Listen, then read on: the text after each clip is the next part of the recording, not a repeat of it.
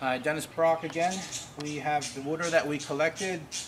We have the jar with the rubber band around it and the coffee filter that's been given as much of a cavity as possible. Just quickens things up. We will pour it. Oh, this is a nice color. This is going to have a lot of good stuff. I don't have a ton of silt in there, so it shouldn't take too long. We can see the water coming down. We're going to take it down to about a teaspoon, and then we're going to sample it out and see what we've got. It should take about, maybe about 10 minutes at this point. Thanks. Hi. We have filtered it down, our, our pond water, till we just have a little bit in there. We have taken out some things that would really be cool. I have a, a, a I think it's a dragonfly nymph. You, uh, you, want to see that first, how this appears in, in, in reality, I mean in true size, and then I'm going to put him right in the center, and you're going to try to take a shot of him but he is moving. Let me move him along. Very uncooperative dragonfly nymph. Hold on, guys. There he goes. Now I'm going to probably let him go. Yeah, what else we got in there? he can become a dragonfly. Beautiful, huh? gorgeous? Now we have a lot of small things in there we're going to shoot in a second. Put some still shots in here too for you.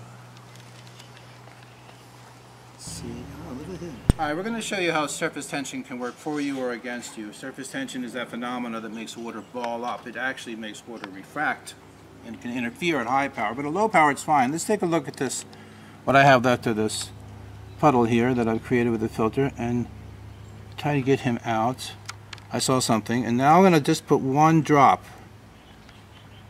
You see the creature in there? Uh, it's better with a white background. Things show up really well on a white background. Now I'm going to put him under the microscope. He can't go anywhere. The field of view is about a quarter of an inch and so is that drop. I've never really seen one of these before. Let's take a look at what we have here. Put that camera on. Let me get out of the way.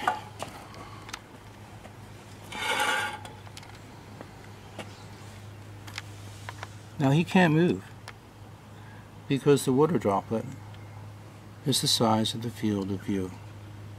This is you can't you can run but you can't hide. Now the surface tension is helping us. It's keeping him prisoner. This is at low power. Now high power I need to do something totally different. Let's take a look at what I do now. I now have the 10x on the front. That's 10 times 5 which is 50x and we were at 20x before. But I want to do something now. I'm going to use this detergent to get rid of surface tension. I'm going to take some stuff out of my filtration here off the top and off the bottom. I don't want too much silt, it makes it hard to see through. Now if you take a look at that, it's not spread evenly. That's the problem. We want it to be spread evenly. This is where uh, can wash your hands when you're done and that'll be obvious to you when you look through this. Now that's gone now. That surface tension disappeared by just touching the top of this uh, detergent. Now I can look at it at the high power, but I need to understand that it will go in the water if I put this at the top of that ramp, it won't go in the water. And I can actually take a look through. So let's take a look and see what we got.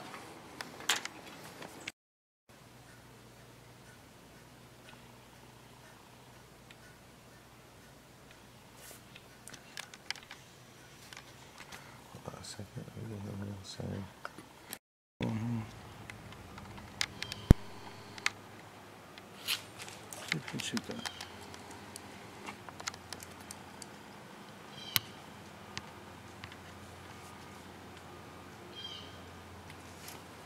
Now we've taken a well slide, also known as a cavity slide. It's a slide with a depression in it.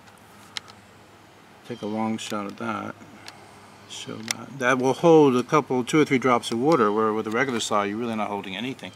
Now very high power 40x, that's when you start using cover glasses, because the glass actually becomes part of the formula. Now remember, surface tension, you want to get rid of it at, at 10x or, or when you're using the 10x, which you don't want it there. But here, it, it actually helps me hold water and, that, and, we got a good shot of that, I hope. But they move at a million miles an hour, and there's actually products to help slow it down. But clear corn syrup can be used to slow down the protozoa. But it, it, whatever, you need to understand that they're moving at 200 miles an hour in their world. It's kind of cool. Here we found something macroscopic, and we want to look at it microscopically. We can keep the surface tension uh, in our favor. Right now, that's a heavy quarter inch. It should be a little bigger than the field of view, and you can take the camera and look down. and get a good view, especially if I put him in the center like that.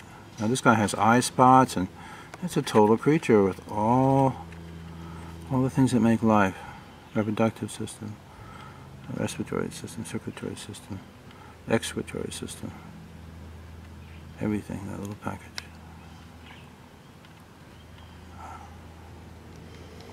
Cool. Got a really great view of this little guy. I want to thank you for watching. I hope I answered some of your questions. and We're going to be doing more of these videos. Just call our office and tell us what you want to know. We'll try to put it on there for you. Wave goodbye. He's actually waving goodbye. You can see this right now. He's going like that.